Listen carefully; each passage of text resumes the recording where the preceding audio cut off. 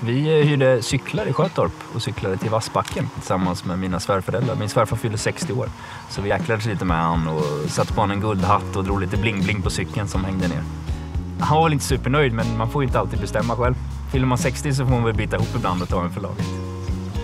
Känslan efter Göta kanal är ju helt fantastisk. Det är ju svensk sommar i en liten ask.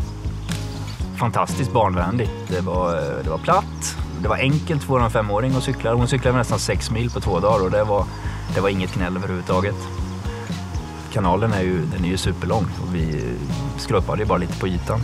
De här eh, lite trygga tre milen de skvallrar ju bara om att det finns säkert extremt mycket mer att se om man skulle ta en annan sträcka nästa år.